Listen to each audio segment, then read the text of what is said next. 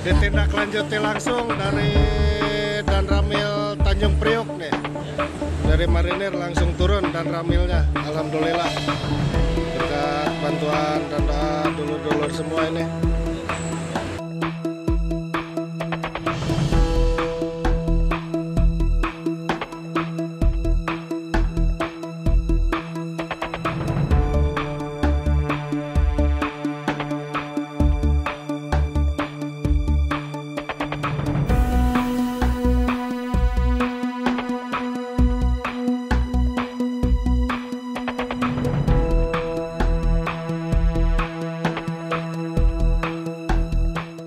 Terima kasih sudah nonton.